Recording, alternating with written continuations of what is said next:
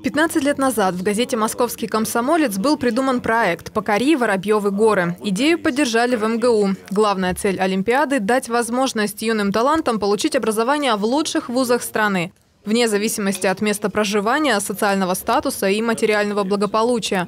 Воспользоваться этим шансом уже смогли более 6 тысяч школьников. Мы считаем это, наверное, самым важным показателем этой Олимпиады, что по нашей информации а, ни один победитель проекта «Покори Воробьевы горы» за 15 лет не был отчислен из МГУ имени Ломоносова.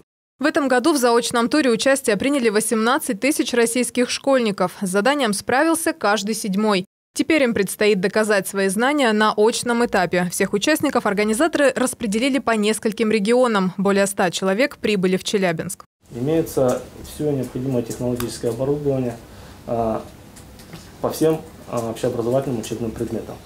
Есть классы э, инженерно-технологического профиля, медико-биологического профиля, а также э, классы укомплектованы всем необходимым. Покорять Воробьевы горы претенденты на бесплатное обучение будут в течение двух дней по девяти предметам. Два года назад к основным добавились география и журналистика.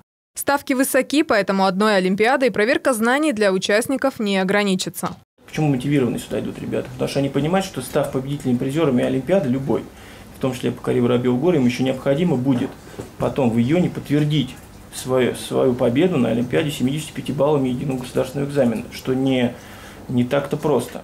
Кстати, не останутся в стороне и призеры. Участники, занявшие вторые и третьи места, получат льготы при поступлении в выбранный вуз. Мила Янкина, Антон Ступко, СТС, Челябинск.